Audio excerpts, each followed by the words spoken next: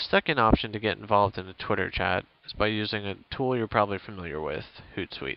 So you just go to hootsuite.com.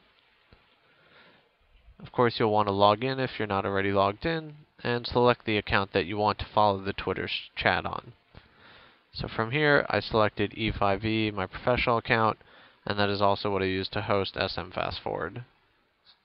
After you've selected the account, you'll hit Add Stream. A window will pop up, and you'll be able to put in a keyword. So we will put in SM Fast Forward again, hit Add, and create Stream. From here, you'll see the latest tweets. It's very similar to how tweetchat.com is. However, it doesn't update as quickly. Uh, you can also embed this directly into a website, which is what I used on playthis.org. Um, and it's pretty easy. You just put in your width, height, and how much you want it to be uh, refreshing. And that's how you use Hootsuite to get involved in a Twitter chat.